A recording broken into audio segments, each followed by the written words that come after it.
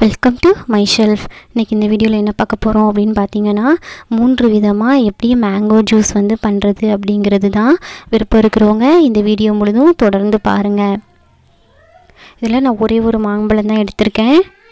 இது ஜவ்வரிசி. ஜவ்வரிசி பார்த்தீங்கன்னா ஒரு அரை மணி நேரம் ஊற வச்சு நல்லா கொதிக்க வச்சு எடுத்து வச்சுருக்கேன். அதில் தண்ணி இருந்தது அதை ஃபில்ட்ரு பண்ணி நீங்கள் எடுத்து வச்சுக்கோங்க.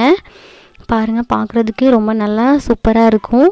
இதை வச்சும் நம்ம வந்து மேங்கோ ட்ரிங்க்ஸ் பண்ணலாம். அதை தான் பார்க்க போகிறோம் இது நான் மாம்பழத்தை தோல் சீவி இந்த மாதிரி கட் பண்ணி வச்சுருக்கேன். அதை வந்து ஒரு மிக்சி ஜாரில் வந்து நம்ம சேர்த்துக்கலாம். உங்கள் மாம்பழோட ஸ்வீட்டுக்கு தக்கப்படி நீங்கள் சுகர் வேணால் இப்போ ஆட் பண்ணிக்கலாம். எனக்கு ரொம்ப ஸ்வீட்டாக இருக்குது அதனால் போதும். நான் இப்போ மிக்ஸியில் நல்லா அரைச்சி எடுத்துகிட்டு வந்துட்டேன். இப்போது நான் அதை ஒரு ஒரு டம்ளரில் சர்வ் பண்ணுறதுக்காக எடுக்கிறேன். உங்களுக்கு எந்த அளவு மாம்பழ ஜூஸ் வந்து தேவையோ அந்த அளவு நீங்கள் எடுத்துக்கோங்க. அது கூட கொஞ்சம் ஜவ்வரிசி சேர்த்துக்கலாம். நான் வந்து ஃபஸ்ட்டு மாம்பழம் வச்சேன் இல்லையா? அதில் நீங்கள் உங்களுக்கு தேவைன்னா ஐஸ் க்யூப்ஸ் வந்து நீங்கள் சேர்த்துக்கலாம். நான் வந்து குழந்தைங்களுக்கு கொடுக்க போகிறேன் அதனால் நான் ஐஸ் க்யூப் சேர்க்காம மாம்பழம் அப்புறம் இதுக்கு மேலே ஜவ்வரிசி. இப்போ பார்த்திங்கன்னா அதில் கொஞ்சம் நல்லா காய்ச்சி ஆறின பாலை கொஞ்சம் சேர்த்துக்கிறேன். பாருங்கள் பார்க்குறதுக்கு கலர்ஃபுல்லாக சூப்பராக இருக்கும். அந்த மொத்தமாக நம்ம சாப்பிடும்போது ரொம்ப டேஸ்ட்டாக இருக்கும். சின்ன பிள்ளைங்க விரும்பி சாப்பிடுவாங்க. இப்போது மீதி இருக்கிறத ஒரு தனியாக ஒரு இதில் பவுலில் கொஞ்சம் எடுத்து வச்சுக்கிறதேன் பால் வந்து நான் காய்ச்சி ஆற வச்சதுள்ள சேர்த்தேன்னு சொன்னேன் இல்லையா? அந்த காய்ச்சி ஆறின பாலில் நான் வந்து தேவையான அளவு சுகர் ஆட் பண்ணியிருக்கேன். உங்களுக்கு தேவைன்னா நீங்களும் சேர்த்துக்கலாம்.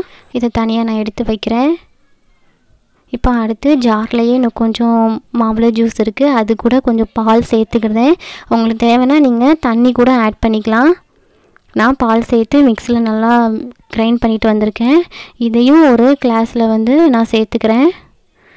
சேர்த்துட்டு அது கூட இந்த ஜவ்வரிசி சேர்த்து நல்லா மிக்ஸ் பண்ணிக்கலாம். இந்த மாதிரியும் நல்லா மிக்ஸ் பண்ணிவிட்டு நம்ம சாப்பிட்டோன்னா ரொம்ப டேஸ்ட்டாக இருக்கும்.